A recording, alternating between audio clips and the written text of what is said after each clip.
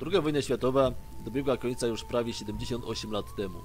Zatem ludzie mający ówcześnie 18 lat, to dzisiaj, jeżeli żyją, są już sorowani, mają dobrze po 90. Natomiast przedstawiciele tamtejszego pokolenia 20, 30, 40 i 50 latków już dawno wymarli. Choćby z racji upływu czasu nie ma więc na tej liście wysoko postawionych SS-manów, którzy byli głównodowodzącymi nazistowskich zbrodni. Znalazło się tutaj jednak miejsce dla kilku hitlerowskich najemników oraz funkcjonariuszek i strażników niemieckich obozów koncentracyjnych. Co więcej, każda z przedstawionych tu person dobrowolnie służyła III Rzeszy i nigdy nie przyznawała się do uczestnictwa w hitlerowskiej machinie śmierci. Dlatego też te ośmioosobowe grono jest obciążone przewinami nazistowskiego reżimu.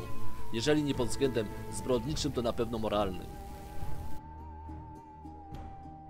98-letni Andersen i o rok młodszy Rasmussen, obecnie Rasbol, są obywatelami Danii i na przełomie 1942 i 1943 roku byli strażnikami w hitlerowskim obozie dla Żydów.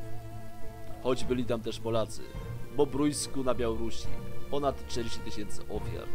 Obaj jeszcze kilka lat temu znajdowali się na li- liście najbardziej poszukiwanych zbrodniarzy nazistowskich Centrum Szymona Wizentala. Jednakże duńska prokuratura na ówczas nie znalazła dowodów na ich udział w tym ludobójstwie. Z drugiej jednak strony daje dużo do myślenia to, iż Helmut Leif Rasmussen zaraz po wojnie zmienił imię i nazwisko na Helmut Rasbol. Wszak w tym czasie swoje personalia zmieniali głównie ukrywający się e, nazistowscy zbrodniarze wojenni. Na czele z Józefem Mengele i Adolfem e, Eichmannem. Nazwisko 96-letniego Bruno Deja jest jednym z goręczych na tej liście, choćby dlatego, że ten były niemiecki strażnik nazistowskiego obozu Stutthof za swą zbrodniczą działalność został skazany prawomocnym wyrokiem. W lipcu 2020 roku hamburski sąd uznał go bowiem winnym tego, że w okresie od sierpnia 1944 do kwietnia 1945 roku przyczynił się do zamordowania w obozie Stutthof 5232 więźniów. Day z racji swojego starszego wieku dostał symbolicznie dwa lata kary w zawieszeniu, choć do końca uznawał się za niewinnego. Podczas zeznań tłumaczył, że miał wtedy 18 lat nie był świadomy rozmiaru okrucieństw mających miejsce w Stutthofie. Tamtejsi prokuratorzy wskazali jednak, że Day doskonale wiedział, co dzieje się w obozie i aktywnie zapobiegał ucieczkom więźniów. Zresztą w podjęciu tej decyzji pomógł im obciążający nazistę materiał dowodowy, który może znać pierwszą kobietę na tej liście.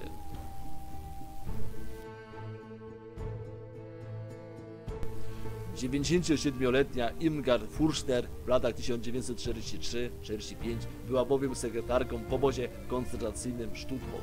Co ciekawe, jej biuro znajdowało się raptem kilka kroków od komór gazowych i krematorium, nieopodal tzw. bramy śmierci i szubienicy. Niewątpliwie więc Furster jako młoda sekretarka była bardzo dobrze poinformowana o tym, że w miejscu jej pracy w nieludzki sposób zabijano tysiące bezbronnych ludzi. Zresztą Niemka po wojnie nigdy nie kryła się ze swoją e, przeszłością i choć nikogo nie zabiła, to jednak jako pracownik biurowy prowadziła choćby kartoteki zabitych osób. Furster jednak przez długie lata nie poniosła za to odpowiedzialności. Zmieniło się to jednak w grudniu 2020 roku, kiedy to sąd w Witzenhof w landzie Schleswig-Holstein skazał ją na dwa lata w zawieszeniu za współudział zamordowaniu ponad 11 tysięcy osób.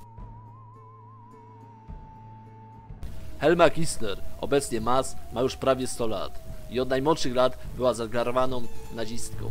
W 1934 roku wstąpiła do żeńskiej sekcji Hitlerjugend, Bund Deutscher Medel, a zaraz po 18 do NSDAP.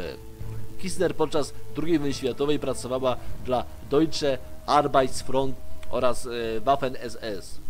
Od kwietnia do lipca 1944 roku była radiotelegrafistką w obozie koncentracyjnym Auschwitz-Birkenau. Miała dostęp do wielu poufnych dokumentów urzędowych. Helmę po wojnie jednak nikt e, w Niemczech nie niepokoił, aż do e, czasu, kiedy 7 lat temu znalazła się na pierwszym miejscu listy najbardziej poszukiwanych zbrodniarzy nazistowskich Centrum Szymona Wizentala. W 2016 roku w ojczyźnie miało dojść do jej procesu, podczas którego zostałaby oskarżona o współudział w zamordowaniu 266 290 osób. Jednak e, szybko została uznana za niezdolną do e, odpowiadania przed sądem z powodu stanu zdrowia i podeszłego wieku. Wiekowa Helma obecnie przebywa w domu spokojnej starości w Neuminster, niedaleko Hamburga i nie życzy sobie rozmawiać o swojej nazistowskiej przeszłości. Są oni najbardziej znanymi z ciągle jeszcze żyjących byłych członków ukraińskiej dywizji SS Galicjen Hałyczyna. Ostapenko i Tabora brali m.in. udział w zwalczaniu polskich i żydowskich cywilów podczas Holokaustu i Powstania Warszawskiego. Są na to dowody w postaci listów wojskowych, druków płatności i inne dokumenty z archiwów polskich i niemieckich. Obaj mieszkają teraz w Wielkiej Brytanii, gdzie żyje jeszcze przynajmniej kilku ich kamratów od służby dla Hitlera. 96-letni Ostapenko, jak oficjalnie wiadomo, był strzelcem wyborowym w 31. Schutzmannschaft Batalion der SD i zaraz po wojnie ukrywał się w obozie jenieckim we Włoszech. Stamtąd e, wyjechał w 1947 roku do Lancashire, a w tym angielskim mieście do tej pory jedzie spokojne życie w otoczeniu swej licznej rodziny. Tabora ma podobne przeżycia, acz z powodu swojego niedołęstwa wzbudza większe współczucie wśród osób zainteresowanych ich zbrodniczą prze- przeszłością. 101-letni Waler służył w Weissensgruppe C i został oskarżony o udział w masakrze dziesiątek tysięcy Żydów na Ukrainie, w tym w Babim Jarze. Kaźta miała miejsce od 29 września do 3 października 1941 roku i w sumie pochłonęła ponad 33 tysiące rozstrzelanych ofiar. Zbrodnia w Babim Jarze była jedną z pierwszych prób wymordowania wszystkich Żydów, którzy byli mieszkańcami dużego miasta. Oprócz mężczyzn zabito też wiele kobiet i dzieci. Co ciekawe, za tę krwawą pacyfikację okupowanych terenów odpowiadał sam Reichsführer SS Heinrich Himmler zgodnie z poleceniem Adolfa Hitlera. W marcu 2020 roku prokuratura w Kassel ogłosiła, że Walerowi nie postawi zarzutu z powodu braku mocnych dowodów. Jego sprawa jednak do tej pory budzi spore kontrowersje. Warto dodać, że o te same przewiny oskarżono również Kurda e, Gostka i Wilhelma Karla Friedricha Hofmeistera, którzy zmarli w 2020 roku.